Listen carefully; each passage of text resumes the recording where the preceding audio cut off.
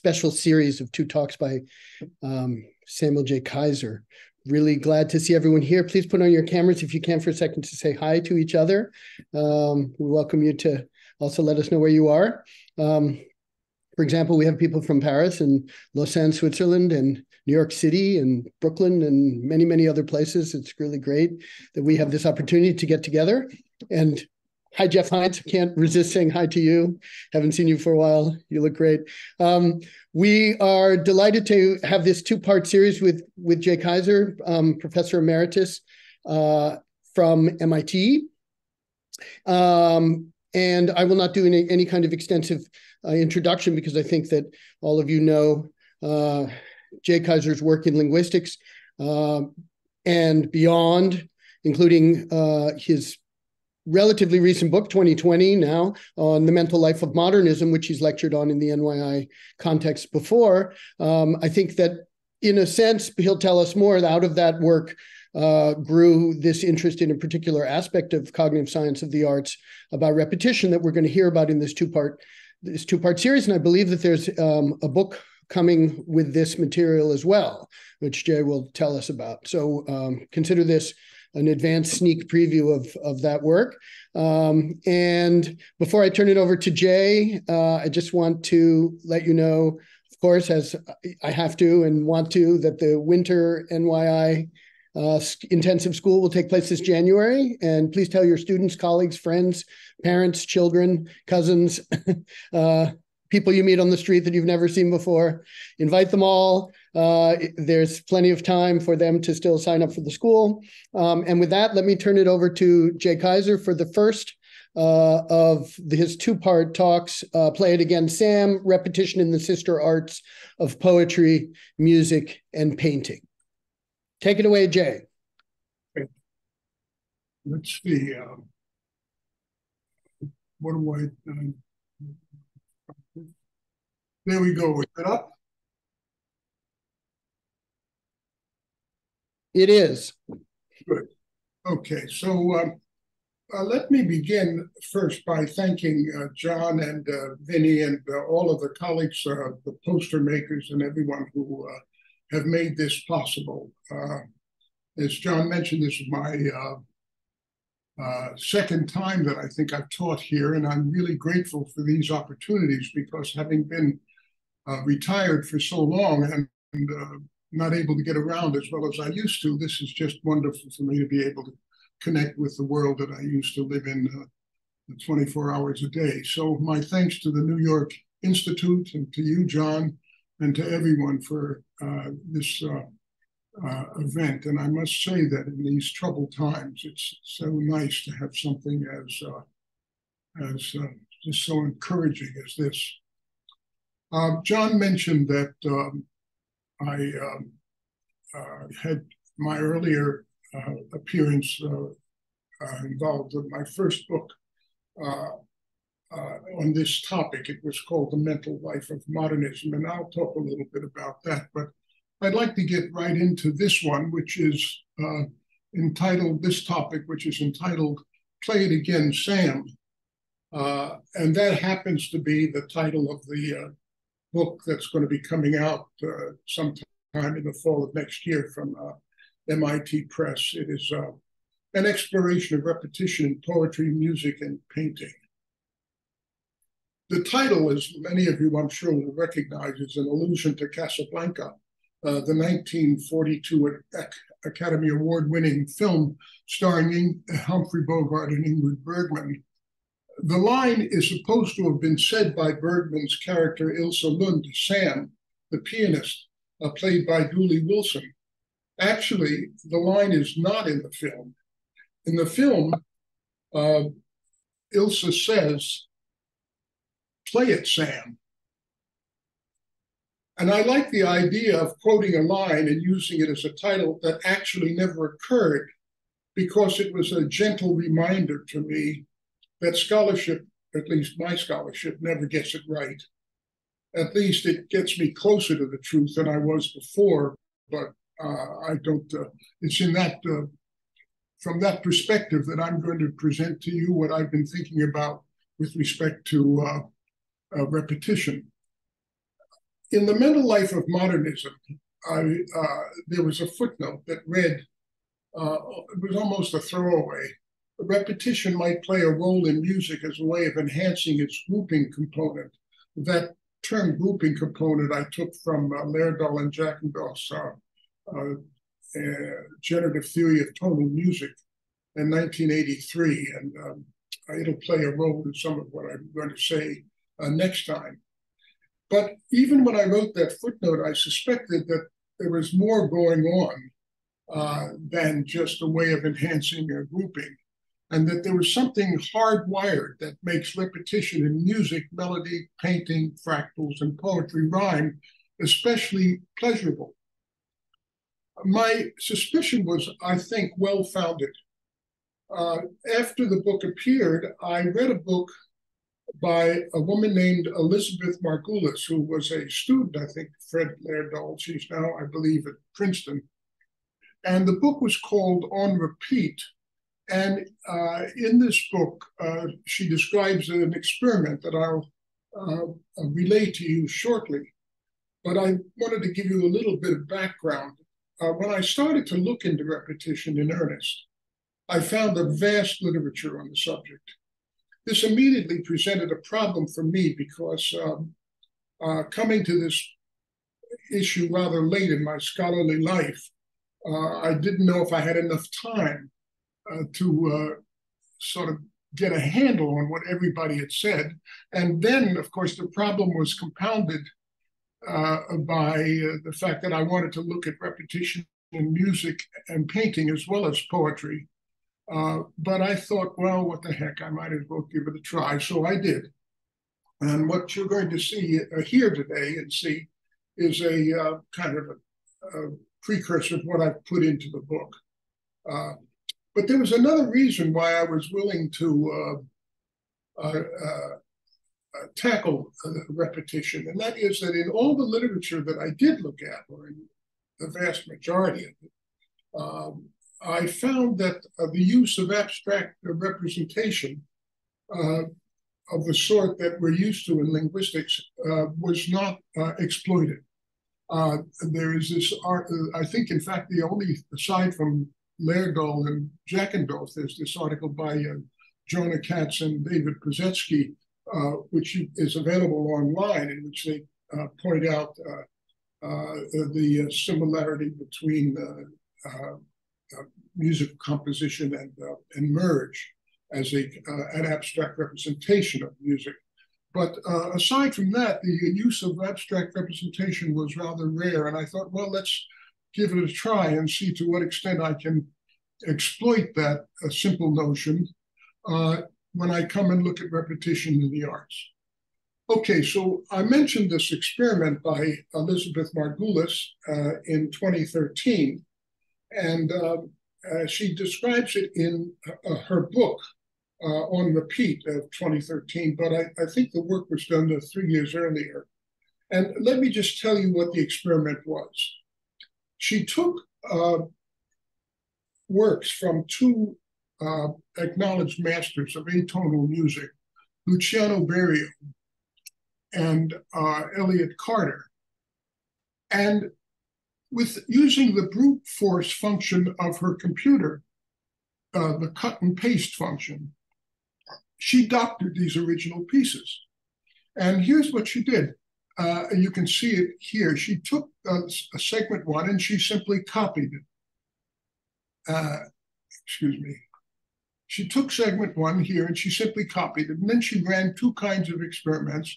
She took segment one and repeated it after segment one. And that she called immediate repetition. And in delayed repetition, she took segment one and put it farther down the line, uh, three segments away uh, from where it first appeared. And so now she had an original and a doctored version. And what she did was she played these versions, of course, not telling the subjects uh, which was which, because her intent was to find out which one they liked best. The first time she played it, she played it to a group of undergraduates. And it turned out that uh, uh, they liked the one, the doctored version. Then she took the experiment to a conference where all of the attendees were uh, uh, PhDs in music theory and were very familiar with atonality and particular the works of Luciano Berio and uh, Elliott Carter. And uh, she asked them the same question, and lo and behold, they came up with the same conclusion. They like the doctored version uh, better. And in fact, we were sort of embarrassed when they discovered that that version was indeed the, the doctored version. Uh, here's what she concluded. The simple introduction of repetition, independent of musical aims or principles, elevated people's enjoyment, interest, and judgments of artistry. This suggests that repetition is a powerful and often under-acknowledged aesthetic operative. Okay, so all the work that I'm about to describe to you uh, starts from this assumption. I'm assuming that repetition is innately pleasurable to human beings. So Margulis' experiment successfully linked, if you can imagine a chain, uh, uh, the, the, beginning link was repetition, the end link was uh, pleasure. But how does that happen? Or to put it differently, are there any links in between? These lectures will suggest a possible path from repetition to pleasure. And in thinking about this, four concepts struck me as being particularly important. The first one was parallelism. The second one was prediction. The third was problem solving. And the fourth was pleasure. Obviously, one and four are the beginning and ends of the links. I take parallelism to mean repetition and pleasure to be its result. And I'm saying that you get there through prediction and problem solving. Let me try to uh, uh, put some uh, uh meat on those bones. First of all, parallelism at all levels of artistic artifice. Roman Jakobson in 1987, in an article in uh, Language, made a comment which really uh, made me sit back in my uh, chair. Uh, he observed rhyme is only a particular condensed case of a much more general, may even say fundamental problem of poetry, namely parallelism. And by parallelism, he meant the kind of the uh, biblical parallelism that one finds with sentential repetition. I'll come to that very shortly.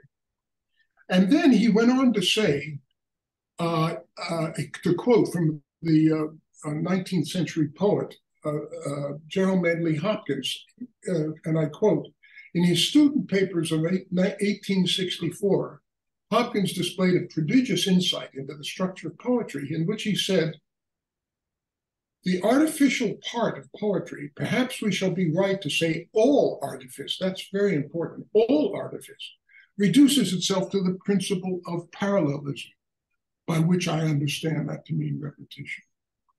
The structure of poetry is that of continuous parallelism, ranging from the technical so called parallelisms of Hebrew poetry and the antiphons of church music up to the intrica of Greek or Italian or English verse.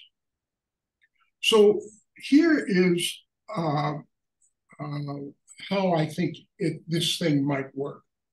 And I'd like to begin with this a notion of structural priming. Uh, the uh, work that I'm describing came in a critical review by uh, Pickering and Ferreira, and if you're interested, you can uh, uh, check them out. they essentially noted that when people talk or write, they tend to repeat the underlying basic structures that they recently produced or experienced others uh, produce. And they were describing an experiment that had been done by Pim Levelt and others, uh, which was sort of the opening experiments uh, for this kind of uh, uh, observation. Uh, the what uh, the experimenters did was they would go into a shop and they would say to the shop uh, owner, Om hulat gaat uw winkel dicht? At what time does your shop close? Notice that begins with this preposition, um. Or they would ask? What time does your shop close? And what they discovered was that if they used the form with the preposition, the answer came back with the preposition, um Weifür. And in the uh, if they did not use a, uh, a, preposition, the answer came back Weifür. So that was what uh, they meant by structural priming. Essentially, when you talk to somebody, they're constructing uh, uh, uh, trees or representation, some sort of representation of what it is you're saying, and that representation lingers after the terminal items of the tree disappear. Uh, here is how Pinker described this process in his book Sense of Style. He, he termed it structural parallelism, and he was talking about uh, the context for Pinker was various uh, rhetorical uh, devices. And one, this was uh, his name for this particular uh, rhetorical device, which you, rep- which you recognize immediately. He said, a bare syntactic tree minus the words at the tips of its branches lingers in memory for a few seconds after the words are gone.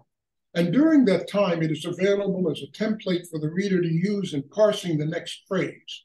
If the new phrase has the same structure as the preceding one, its words can be slotted into the waiting tree and the reader will absorb it effortlessly. The pattern is called structural parallelism.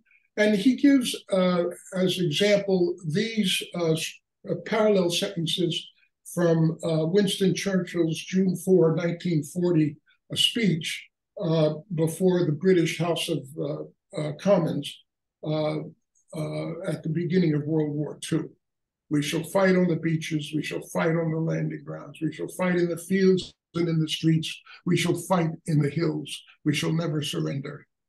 Uh, you'll recognize this. I have a dream. Uh, Martin Luther King, I have a dream. That sort of uh, repetition. And uh, Pinker puts it in a context in which he describes this as a felicitous move, producing uh, uh, elegant phrases by which I take it to mean he uh, is talking about uh, a sense of pleasure that they uh, induce. Okay, so here's how it goes. You take the string, we shall fight on the beaches, and there's the sentence structure, roughly. Uh, then what happens is, after you've uh, said that uh, or read that structure, this tree lingers without the terminal items. Along comes the next candidate and if it fits, uh, then uh, what happens is that um, uh, uh you um, uh, have uh, succeeded in sort of guessing what the right constituent structure for the following one was. Now, the question is, how do we think about that? Well, most of the psychologists who thought about that lingering tree thought about it as a uh, means of uh, sort of, uh, let's see, how shall I put it, um, making a communication efficient. It was seen as highly valued because it saves a certain amount of uh, uh, computation. And that seems to me to be uh, perfectly uh, reasonable. Uh, in, uh, in modern terms, people would think of it as uh, making a, a, correct prediction. Uh, uh, in this, when I say in modern terms, I have in mind this comment by Hertig, Audring, and Jackendoff in an article they wrote in uh, last year, in which they say that in, in what might be called the predictive turn, many in the cognitive and brain sciences have come to consider the human mind a predictive engine or prediction machine. Some have gone so far as to describe the last decade as a true paradigm shift in the sense of Kuhn, comparable to the change from behavioralism, behaviorism to cognitivism in the 1950s. So the idea is the brain, people are now looking at the brain as a predictive engine. Uh, priming is one of the ways in which you predict what's going to come. And the reason you do that is because it's efficient you get it right. So now you can look at that as a form of uh, uh, uh, problem solving. You're making a guess, the guess is right, and so you've uh, uh, solve the kind of problem. that What is the constituent structure of the next uh, in, uh, input? Uh, Bever observed, again, as part of this general overview of what uh, the brain likes, observed that he took it as a basic property of human cognition to get a thrill from solving a problem. What is important is that the first intuition that a problem is solved evokes a burst of pleasurable energy. Whatever its source, we know this to be true. And Anjan Chatterjee, in his book on uh, aesthetics and the brain, he's a neuroscientist interested in aesthetics, um, uh, observed that we experience pleasure when we figure things out. We have this reverberating cycle of pleasure helping us learn, and what we have learned getting us, giving us pleasure. These cognitive pleasures may be the reason we experience pleasure with some conceptual art figuring out what they mean tickles our reward system. Okay, so here is a major assumption that I'm going to make in what I'm talking about. I'd like to observe that people bring different expectations to different discourses. So, for example, in normal conversation, people don't expect repetition. If you had a, a kind of a uh, conversation opener like this. I saw Lottie Balin today. I saw Lottie Balin today. She never looked better. She never looked better. She said to give you her best. She said to give you her best. You'd get pretty uh, irritated with that. Reason? The purpose of this, this uh, uh, exchange is to exchange information efficiently. There's no need for the repetition. But now suppose the uh, uh, that repetition occurs in art. And this is my assumption. I'm claiming that in art, people look for repetition, and finding it is solving a problem. Robert Johnson, singing his They're Red Hot in 1936, virtually reproduces the conversation I just gave you, but because it's in this context, we like it.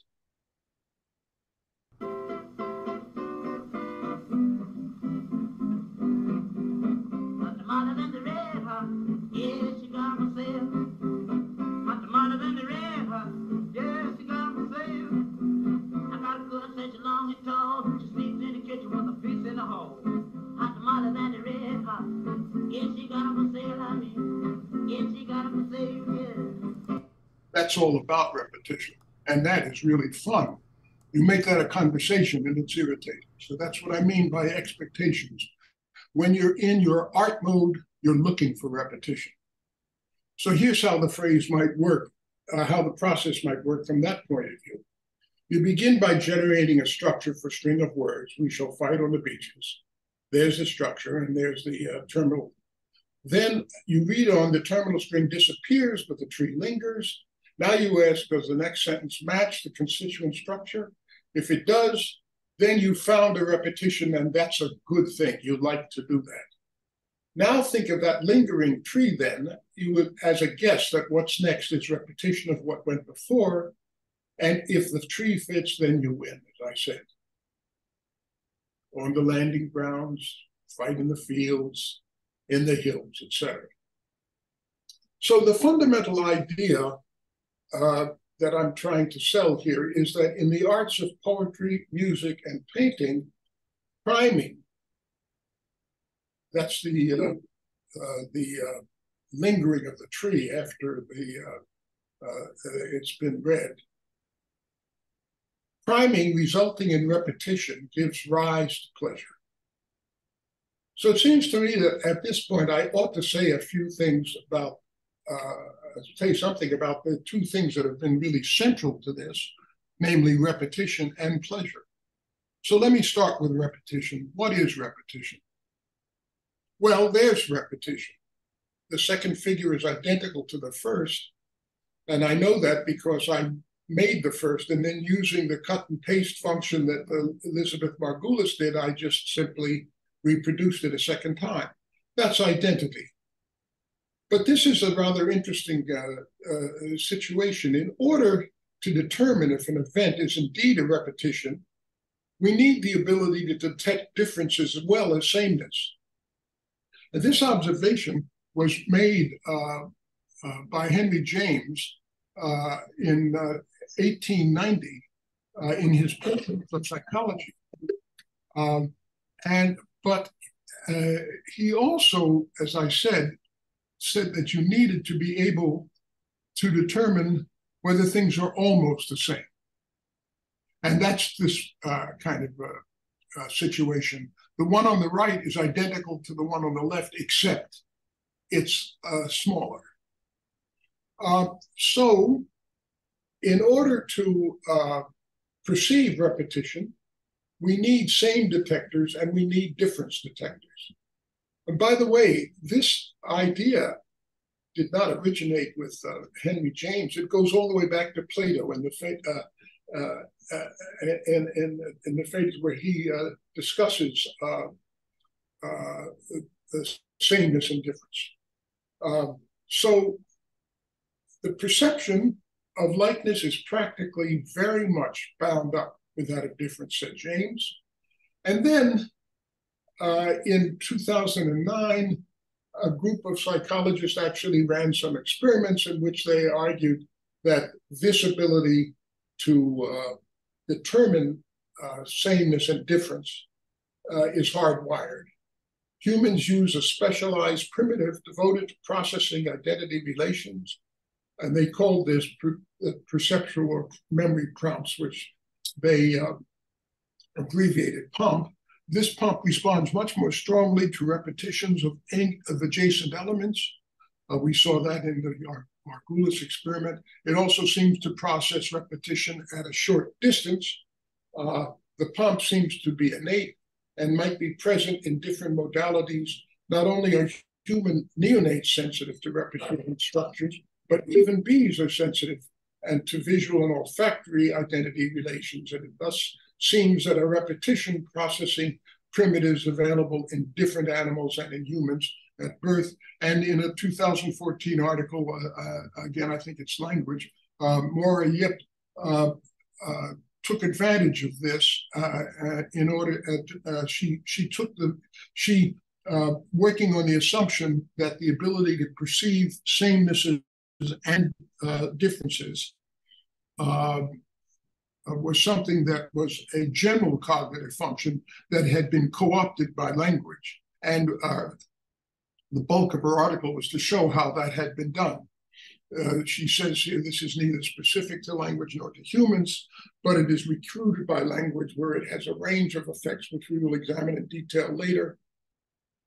The uh, uh, presence of this primitive ability means that both the presence and the absence of identity are potential carriers of information. And uh, I'm, of course, going to take the uh, position that uh, just as this general cognitive function was co-opted in language, uh, so too was it co-opted in uh, the arts. So what about pleasure? Well, that's really uh, a tough one. the Oxford English Dictionary defines it as the condition of sensation induced by the experience or anticipation of what is felt to be good or desirable, a feeling of happy satisfaction or enjoyment, delight, gratification, opposed to pain. But if, for example, you go to delight, you'll find that delight is described as a form of pleasure uh, in the usual sort of circular dance of lexicons. So it's, I mean, it's sort of helpful. It's sort of giving you signposts to what it's talking about, but it's not at all explicit. Uh, other attempts at dealing with uh, emotion in general, uh, I found one by uh, uh, this pair of, I guess, social psychologists. There were Escalona and Cañas. They decided to taxonomize the emotions in terms of high and low arousal and negative and positive emotions. And you can see that they have here alert, excited, giddy, happy, content, serene, relaxed, calm. I'm sure that pleasure would obviously be on the positive emotions and I suppose the degree of pleasure would somehow or other um, um, uh, determine whether you're up here or down here. But still, in all, that's again not very enlightening. And I think the fact that it's not enlightening is not um, uh, result of lack of imagination on our part. I, I, think it's a rather deeper thing that I'd like to at least bring to your attention. Uh, in my uh, book on modernism, I uh, quoted the work which had come to my uh, attention by a philosopher by the name of Colin McGinn. Uh, uh this was the work of, uh, of a 19th uh, century physicist, John Tyndall, who made the following, I think, profound comment. The passage from the physics of the brain to the corresponding facts of consciousness is unthinkable. And what what he meant by that was we can't imagine how it happens. Granted that a definite thought and a definite molecular action in the brain occur simultaneously, we do not possess the intellectual organ or apparently any movement of the organ which would enable us to pass by a process of reasoning from one to the other. In other words, what he's saying is that this question about what is pleasure is unanswerable we uh, uh, if I if I were to take a picture of the brain when you are looking at something which obviously gives you pleasure, a painting or listening to something that obviously gives you pleasure, a symphony or a poem. So then I take this picture of your brain and I see the synapses and I see what's firing and what's not firing. Okay, great. Then there I, there's this sense of consciousness of, the, of what it is you're feeling that you have. And what Tyndall is saying is we do not have the cognitive wherewithal to figure out how to go, how to reason logically from one to the other. Uh, this is not an unfamiliar situation. You might remember that in 1964, this famous quote by Justice uh, Chief Justice Stewart Potter about pornography, in a case in which he said, uh, sort of exasperatingly in his brief, "I know it when I see it. I may not be able to define it, but I know it when I see it." So, for all of you, I'm just going, you're just going to have to make do with my definition of pleasure. I know it when I feel it. And I hope you uh, feel pleasure yourself. And I hope that there is some overlap between what it is you're feeling and what it is I'm feeling. Uh, but I haven't a clue how to prove that.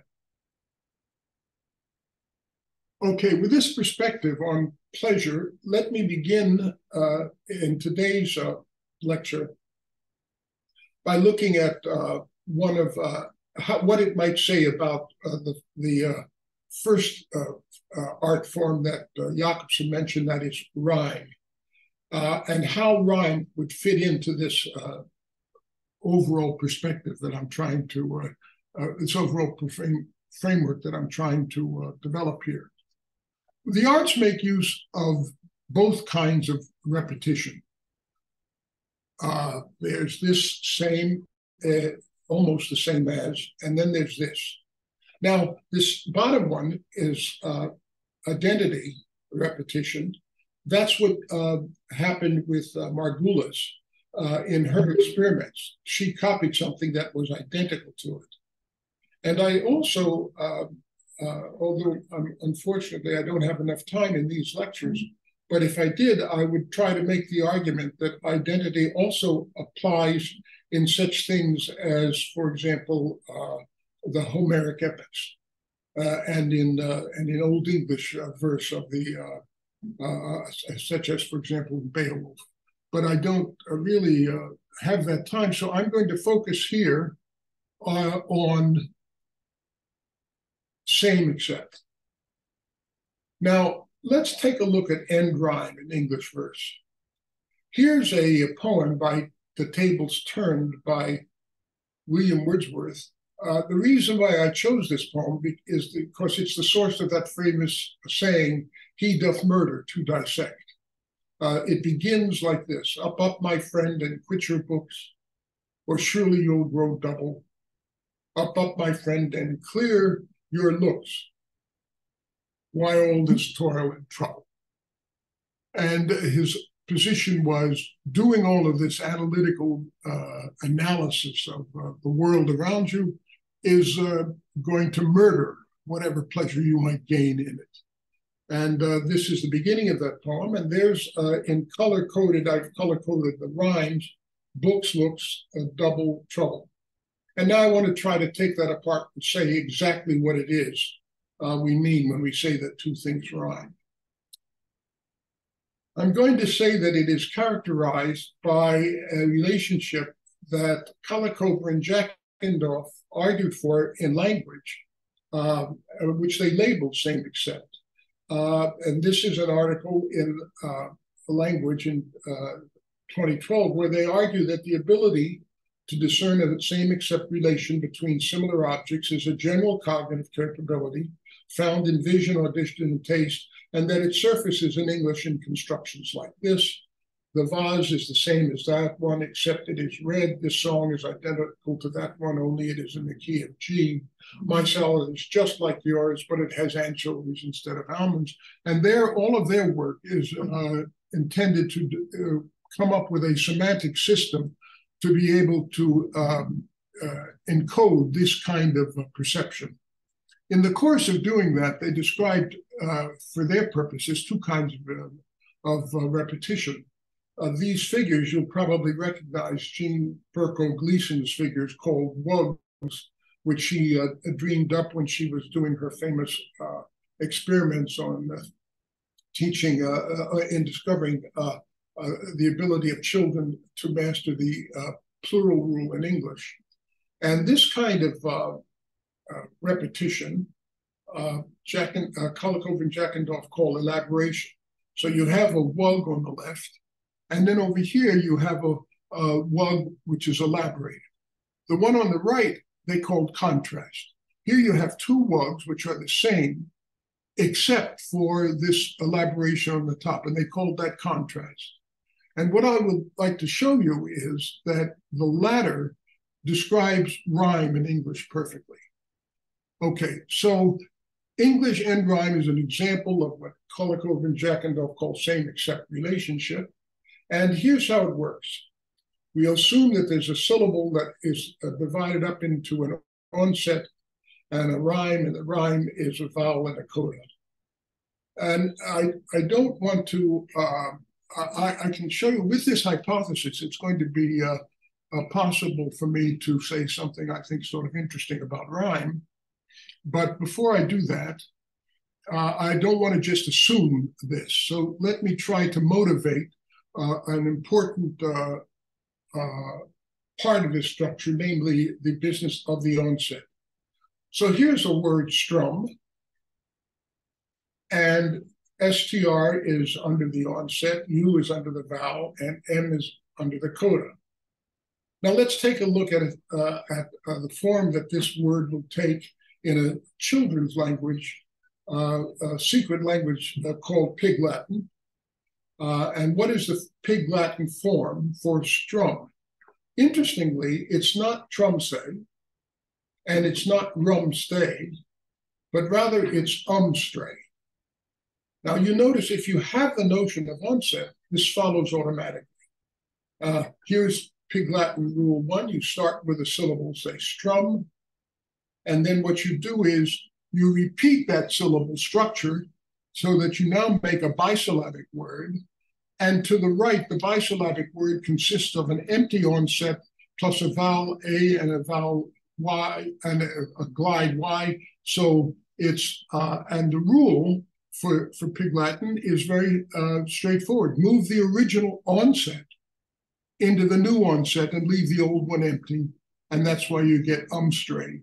And given the statement of the rule in this fashion, you could never ever get uh, uh, trumse or rumstay because the rule says not move the first segment or the second or the third or, or any combination thereof. It says onset. So I take this to be motivation for this structure. And now let's see how we can use this structure to determine rhyme. So here's a word ham. And now here's a word spam. And we want to know if ham and spam rhyme. Well, here's how you do it. You run a little test. Are all the sounds from the stressed vowel to the end the same? They are. They're identical, as you can see.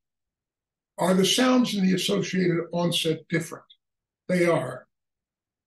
If the answer to one and two is yes, then the words constitute a perfect end rhyme. Now, I should say here that uh, it's more complicated than this because there are polysyllabic words that rhyme, and there are rhyme sequences that actually go over phrases. But I didn't want this to be a discussion of how do you uh, um, um uh, how do you represent the precise uh, uh, theory of uh, uh, of rhyme from the point of view of onset of, uh, from the point of view of syllable structure. But this is the idea. You get the idea. This and all I really need is the onset here and, and the notion of stressed vowel. Okay, so it goes solving the end rhyme problem. You start with ham, and then what you do is you get rid of ham. You're looking for a repetition of ham. That's what you do when you read poetry that is rhymed. You find the word spam and you see if the spam fits to the same constituent structure as ham.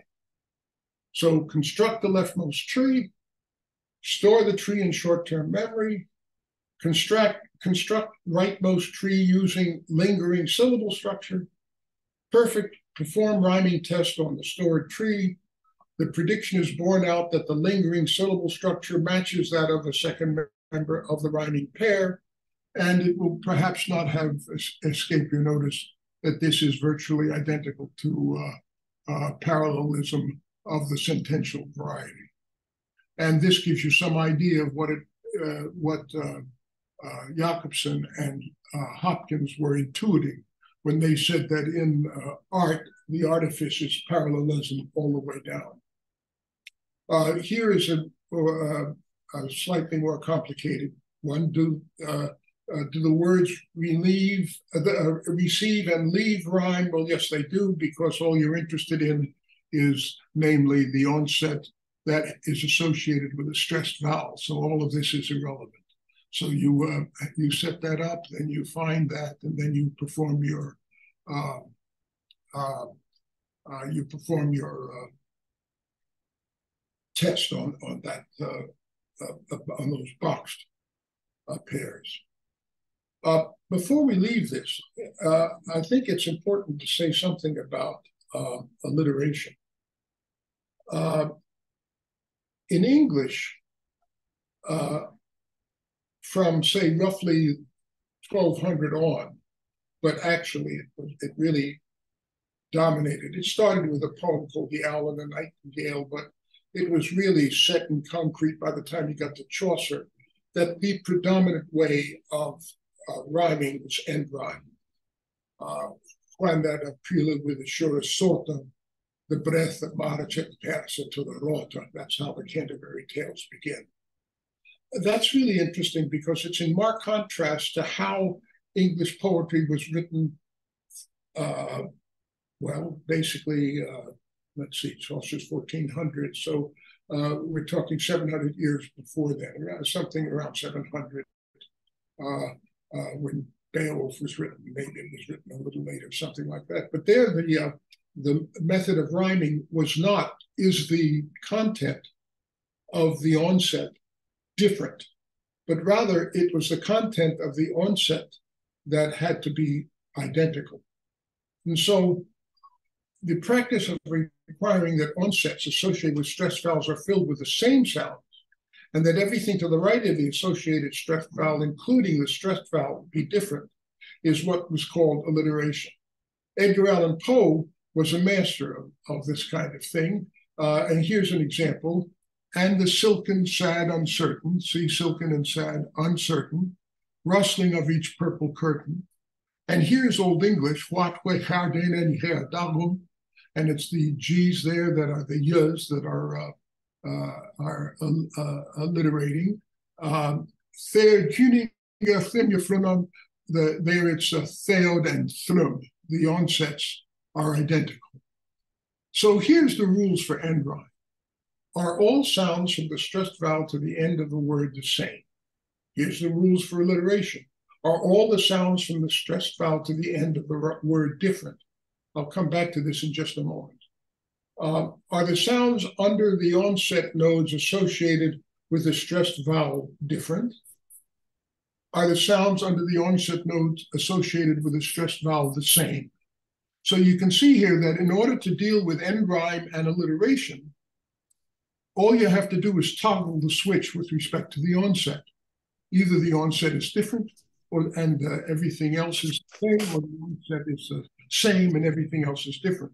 In this regard, uh, there's a scholar at uh, Berkeley who has written a, a, an ex extremely thorough book on alliteration. And I was interested in uh, whether or not this was true. Namely, is it are there examples in Old English? There are 28, roughly 28,000 lines of poetry in Old English.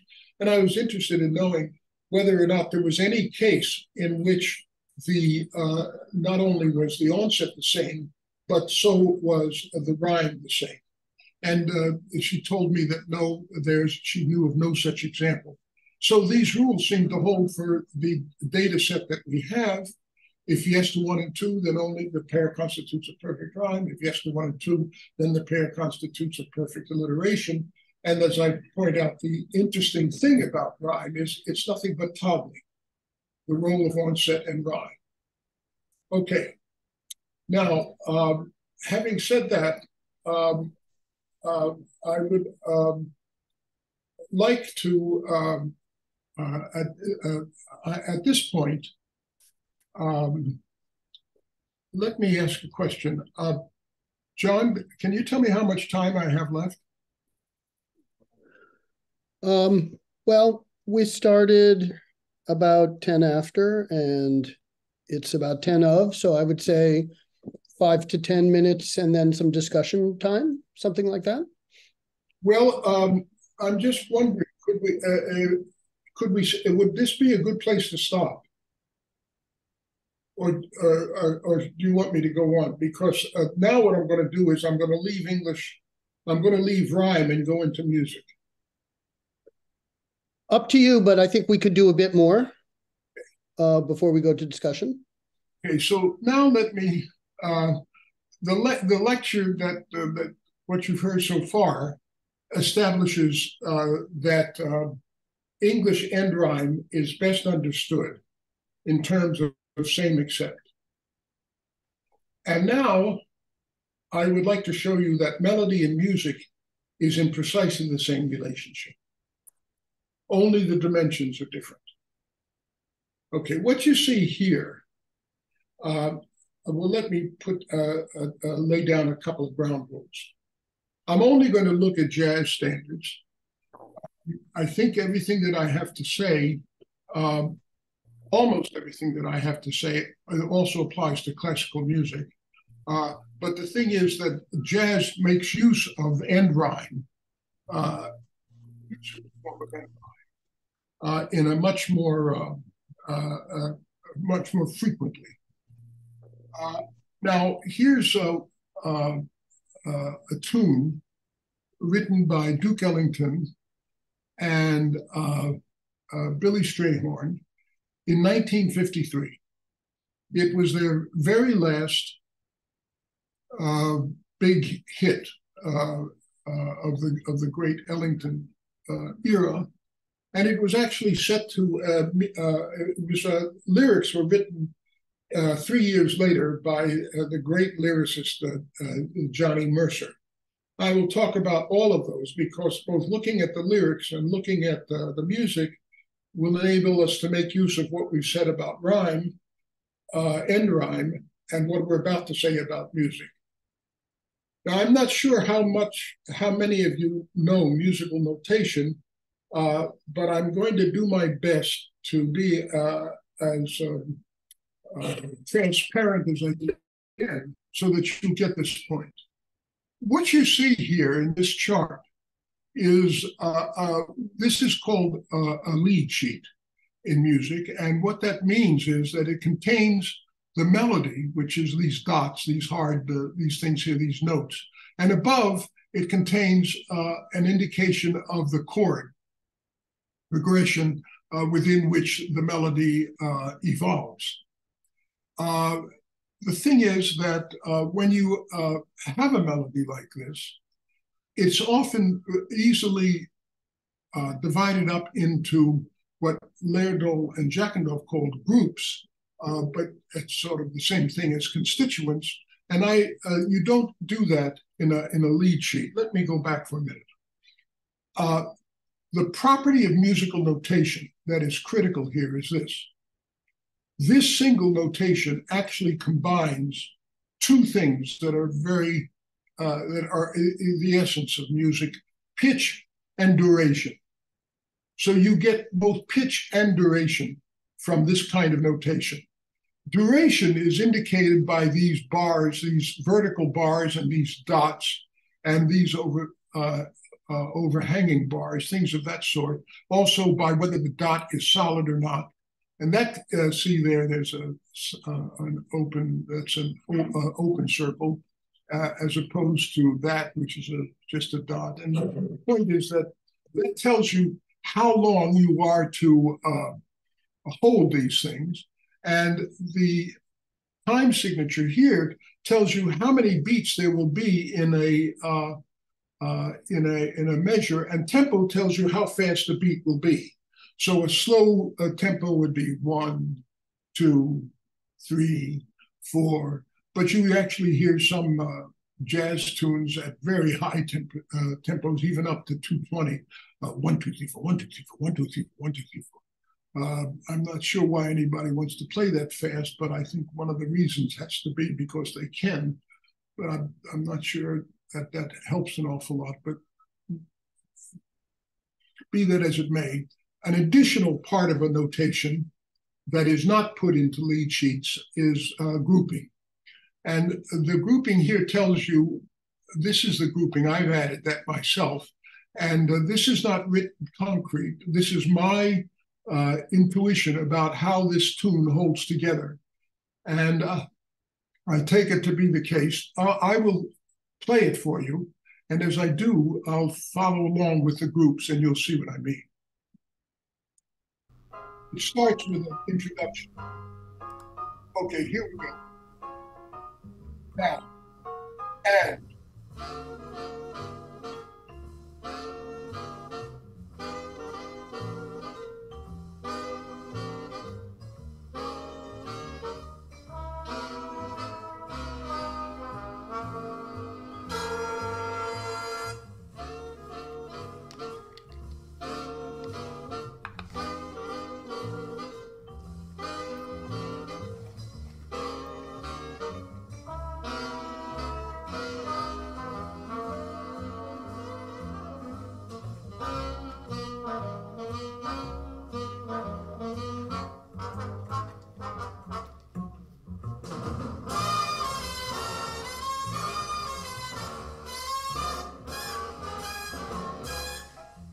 All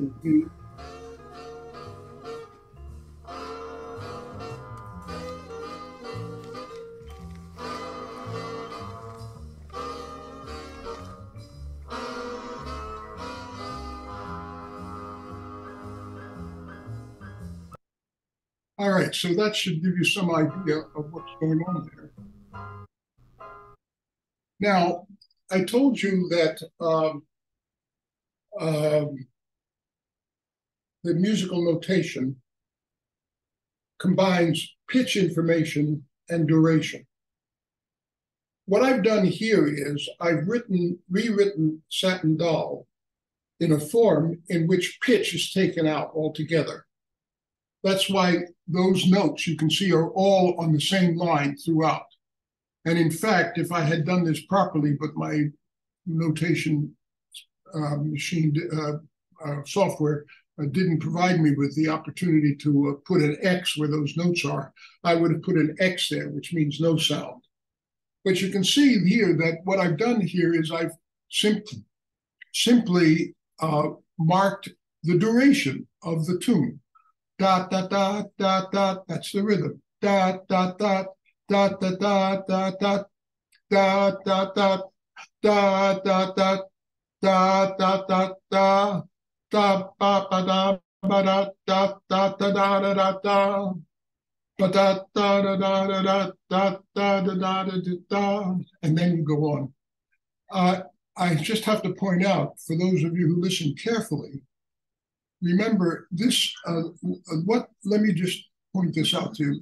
This is um, uh, without the dot. That's a quarter note. That's one beat. When you add a dot to it, you add half of the durational value of its of the thing to which the dot is attached. So that means that that's a quarter note and an eighth note. It's the equivalent of three eighth notes. And here uh, you can see that um, uh, right there. So uh, you can uh, see that this is a dotted quarter note, but if you listen carefully, you'll see that they didn't play it that way. And that happens to be a function of the way in which jazz convention has decided to read these notes. So it's not all that straightforward. They played it ba. In other words, they played that short. And every uh, uh, practically every jazz musician knows that when you find a dotted quarter note at the end of a measure, you play it short, unless the leader wants you to play it long. If you go ba boo da boo da ba doo da, that's one feel, as opposed to ba boo da boo da ba doo da. That's a different feel. But so it just because the duration looks that way, that doesn't mean that a leader is going to have you play it that way. So there's a whole host of performance rules that uh, intervene between the score uh, and the ear. Now, what I've done is I've taken um, uh, Satin Doll, and now I've arranged the lead sheet as if it were, a poem.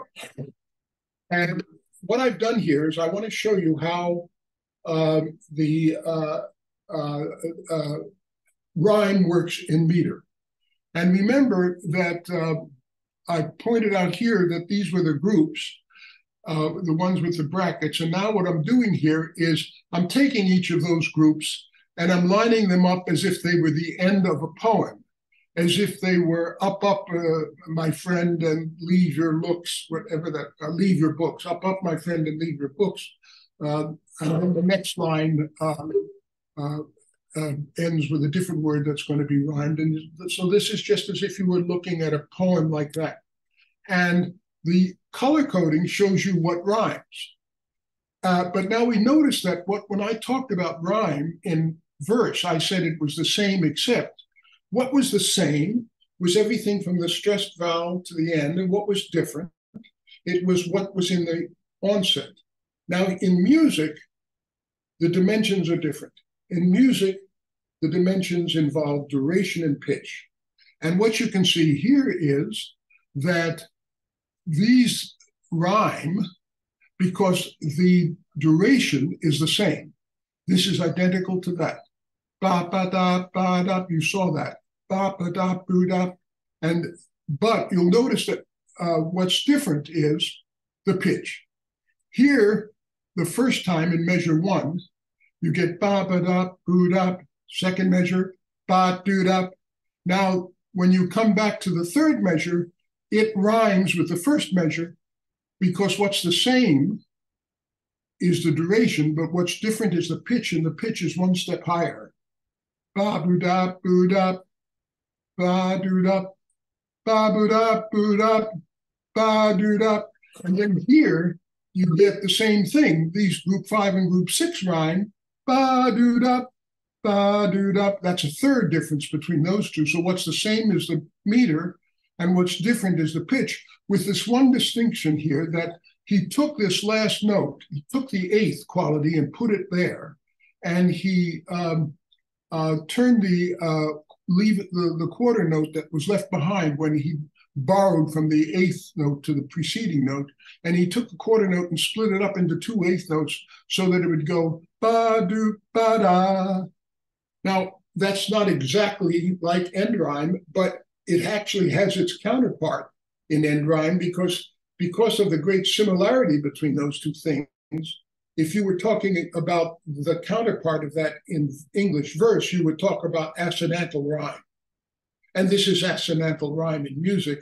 These are almost the same. And the reason why he's done that is because he's coming up to the end of a phrase and he wants to anticipate that the last two bars. And by anticipating, uh, you give it uh, uh, a kind of, uh, you, you, you, you give it uh, uh, a, a forward swing and that's why they did that. That's part of the, uh, the, what I was talking about when I talked about performance rules. All right, so here you can see how these things rhyme, group, and I've color coded it. Group one rhymes with group three, group two rhymes with group four, group five and six are assonantal rhymes, and then you have group seven, which is simply this long note here. There's there, there's no question of rhyme. And now look at what Johnny Mercer did. He followed the rhyming group of the melody in his lyrics. Baby, shall we go out skipping? Careful, amigo, you're flipping. Speaks Latin, that satin doll. All right, so that uh, is. Uh, uh, I think this would be a good place to stop. Is that okay, John? Yeah, that would be great. I think it's. And I'll go on uh, describing, uh, discussing uh, further parts of this tune next time.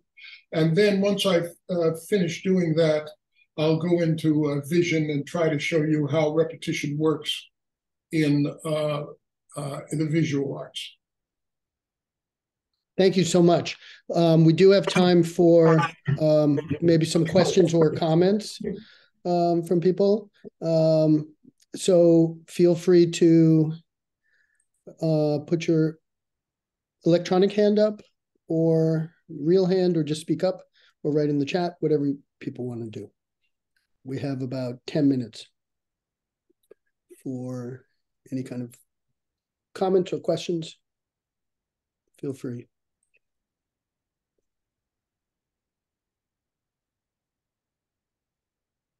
And I think everyone can see the hands put you up in the upper left automatically, Jonah. So please. Hi, nice to see you. Hi, uh, thank you for that talk. That was really interesting. Um, I have, uh, I'm sorry, I'm Jonah Katz. Um, I'm a link. Before you ask your question, thank you for your paper, which was very interesting. Of course, thanks for reading it. Um, got published. It's just in Ling, Lingbuzz, isn't it? It was never published. Yeah, we um we had a, a an exchange with some reviewers at Language that uh, took some years off of our lives and it never never got resolved. Um,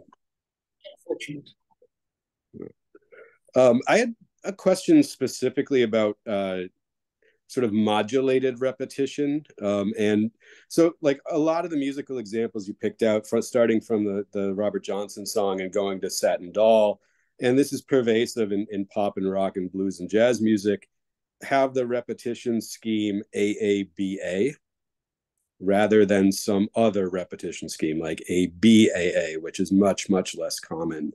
Um, and the same thing seems to me to be true of rhyme schemes, or at least in the genres that I'm most familiar with, hip hop and most pop and rock lyrics. You'll frequently find schemes where there's, um, you know, uh, basically if you split it into four parts the first two will rhyme the third quarter will not rhyme and then the fourth one will. So this same kind of aaba kind of scheme. And so i mean this clearly is going to involve some some form of, of repetition and expectancy of just the type you've laid out here. But the question is why that particular schema the aaba kind of schema why is that more common or more pleasurable or whatever that than other possibilities like ABAA, which you just don't find as much. Do you have any ideas about that? Well, that's a really interesting observation, and I'm glad you made it. Uh, it turns out uh, there's a guy by the name of Shanahan who works with a uh, with a David Huron, and Shanahan actually took all 1,200 tunes of the um, uh, in iReal book. Uh, iReal, I, uh, I, what is it? Uh, uh, I, I, Pro, Real I Pro, Real I Pro. That's what it is. That program. There are 1,200 jazz tunes, and he looked at all of them, and he found that 40% of them are of the form AABA. Uh, other forms like ABAA or ABBA, things like that occur in various percentages. You never ever find AAA or BBB. Mm. Never find that. And there's a good reason for that. That's the so called rule of three. And the rule of uh, now, I, there's I can go in a lot of different directions on this uh, for you, uh, Jonah, but uh, because I want you to hear I want you to know what's out there uh, so that you can look at it yourself. Let me just sort of glance at these different directions. One direction is this David Huron actually did a, an experiment in which he tested where people like repetitions. And they want it at the beginning rather than the end. That's number one. And number two is they don't want three in a row. And so you take those two things together, and it says that AA is more pleasurable than AAA because AA is exciting and AAA is boring. Okay. Now, it turns out that there was actually a history ran this experiment. And what David Huron did in the laboratory was done throughout the 18th century. And there, the background is really uh, uh, extraordinary. Immanuel Kant said that music was wallpaper. And it really upset music critics because they wanted it to be more than wallpaper. Well, why did not Kant say it was wallpaper? Well, because it didn't mean anything. And um, uh, um, my friend Norbert Hornstein recently said, uh, uh, uh, recently told me uh, when I described this to him, he said, Well, there's a very easy way to show that that's true. Nobody ever said after listening to a Bach piece, that's false. the fact of the matter is that meaning the music doesn't have meaning. But these French critics, Guitry was one of the uh, major critics. They bent over backwards to say that uh, that music had meaning. They described the sonata as being a discourse. The problem was repetition. And, the, and exactly the point that I introduced earlier. Remember when I said uh, uh, I saw Lottie Balin today? I saw Lottie Balin today. They used that as an example of why repetition had to be eliminated from music. And so they started saying we mustn't repeat. And sure enough, in the 18th century, the places where musicians, the composers, had put in repeat signs, the um, conductors eliminated.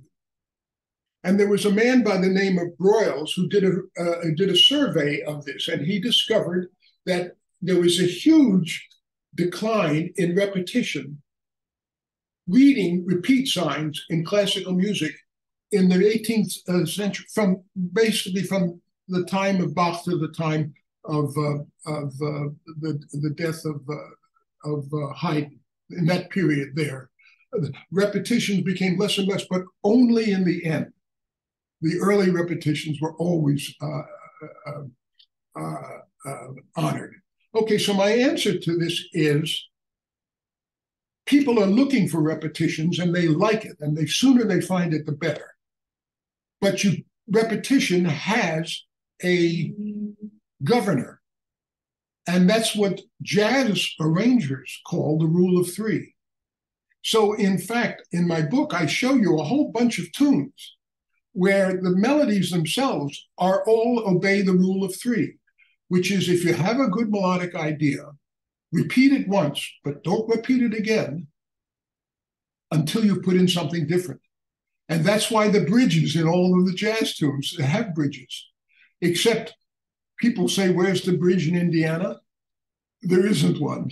And that's a musician's joke because Indiana is such a flat uh, state. But there isn't a bridge in, in Indiana. But so that's the kind that that's just simply A B. But if you have A and A, you've got to put in something. And some of the, I mean, one of the great tunes of all time, in my opinion, is Funny Valentine. And I'm not going to have a chance to analyze that for you here. But if you look at Funny Valentine, you can see, My Funny Valentine, sweet comic Valentine. That's identity repetition. You make me identity repetition. And then it's got to change. Sad, when you know, sing with my heart, something like that. So that's what I think the answer to your question uh, uh, is sort of a, a rapid fire, probably incoherent answer to your question is. Thank you. Thank you. We have two two two other hands up now. Um, and let's and there's others coming. So if, if we we can keep going for a bit. Um, so Wayles Browne, hi Wayles, is next. Wayles. Hello, Wayles. Jay, been a long time. Yeah. Uh, you made me wonder about one difference between a poetry and music. which is that in music, the repetition can be exact. In rhyme, you really don't want it to be exact. You don't want to rhyme satin with satin. And you could never have Valentine rhyming with Valentine outside of a song. Why is that?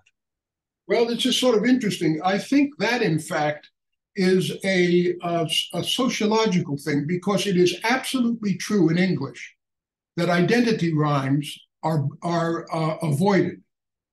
So if I were to say to you, Monty Woolley is such a ham that all he ever ate was ham, that's okay. But it's not as good as Monty Woolley was such a ham that all he ever ate was spam. That's better. But in French, there is a whole culture called rime riche, where they do that all the time. And so there's nothing, I think here it's a question of preference. There's nothing theoretically interesting about it. And along the same lines, you'll notice that in English writing, we tend not to like to use the same words, the same uh, in two different sentences. So if you use, uh, if, uh, if I were to say, um, um, if I were to say, my footnote inspired me to think about repetition. Margulis inspired me to uh, uh, to uh, look at it in music. I would be inclined to want to change the second inspired to encourage. Turns out the Japanese don't have any sense of that at all. They think it's perfectly fine. So that I think is not a very uh, that's was something that I looked at, and uh, I can't do any better than that, uh, Wayles. Well, just to add one thing, in, in English, uh, the language has a tendency to de-stress repeated words, and I think that's less true in French and less true in Japanese. Well, that's interesting. I mean, there, there you're talking about uh, uh, the impact of new information. Right. Well, I haven't thought about that. That I'd have to think about. Thank you. It's great to see you. You haven't changed a bit. um, our, the next hand up is Natalia Mironova. Yeah, thank you so much for such an insightful lecture. And, and I have a question concerning uh, blank verse. As far as I know, um, in English, in English poetry, uh, the shift uh, appeared, I think, in the 20th century, and this like classical rhyme that you demonstrated earlier became outdated and it was uh, started being considered uh, sort of too uh, simple i would say and um, maybe i'm not, i'm mistaken but i just heard such a point of view and some people say that um, this blank verse poetry is more complicated, more sophisticated, and um, it is considered like more stylish, maybe. And so uh, the question is uh, why do people enjoy it if it has no repetition or hardly any? And was uh, like the aesthetics between blank verse? Yes. Well, may I call you Natalia? Yeah, yeah, sure. Natalia, I want you to read my first book. It's called The Mental Life of Modernism. Mm-hmm. Because you don't, because I'm not trying to sell the book, I want you to know that it's available free online. You can read the book from MIT Press. And that whole book is about the shift in modernism that took place at the 20th century and its consequences.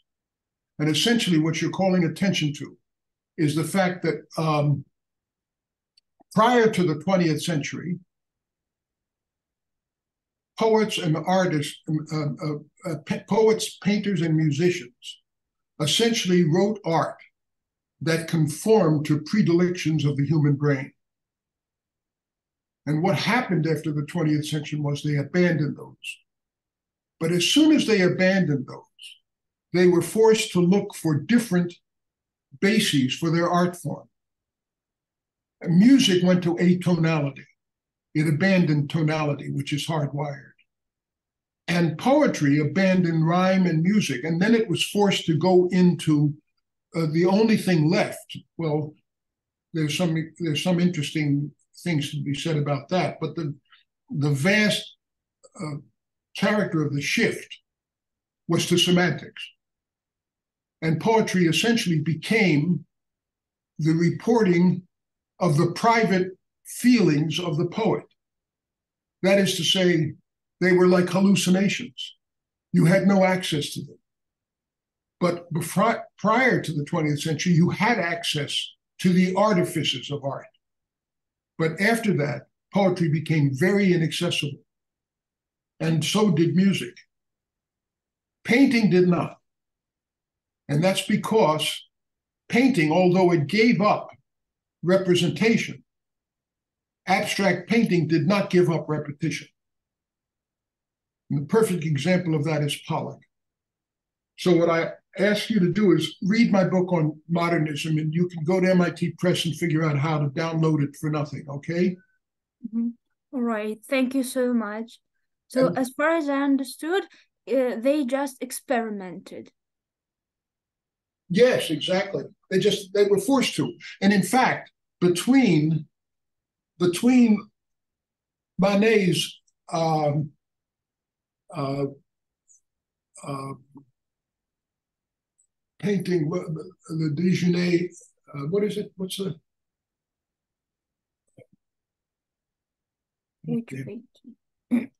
one about the nude woman with the guys dressed in the park? Uh, I can't remember the name of it now. I'm, geez, I'm, excuse me. This is what happens when you get to be 88. Uh, anyway, it's uh, the, the uh, that painting between that painting, which you did around 1877 and 1977. Well, no, he did that in 1860, and then Warhol did his Campbell soup cans in 1962. So uh, essentially, what happened was in that hundred year period, 500 different schools of art emerged. 500 different schools of art said this is the way to do art. Prior to that time, there was just one way to do it. It was mimetic. But once we abandoned the natural predilections of the brain, art just simply exploded in the way in which it was supposed to be done. Schools like, for example, you know, uh, like uh, surrealism, concretism, vorticism, uh, um, uh Dadaism, uh, Cubism, all of those schools, those were 500 different schools. They all exploded because they became unanchored from what the brain could process. So I think the way you should think about this is you should think about this as, as art as exploiting what the brain can do in order to give the brain pleasure. Mm-hmm. All right. Thank you so much. I understood. Good. Excellent. Did Pallab Basu have a question? Yes, yeah. this is probably our our last the last question we have time for. Um, Pallab, please. Yeah.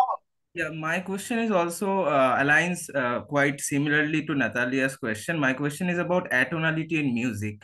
Uh, if we look at the second Viennese school, uh, like Arnold Schoenberg, and they composed uh, not in the line of composition that used to be during 17th century to 19th century but there was a sharp departure where they rejected the concept of a tonal center or a key how we define a chord. So is it uh, is it always the case that uh, uh, that uh, that this kind of rhyming pattern or uh, this pattern uh, things patterned things are, are hegemonical in a way that we always want to try to uh, mime uh, like mimic that pattern throughout the age so how uh, like is it uh, somehow violating the rules of rhyme and alliteration and that kind of things atonal music especially?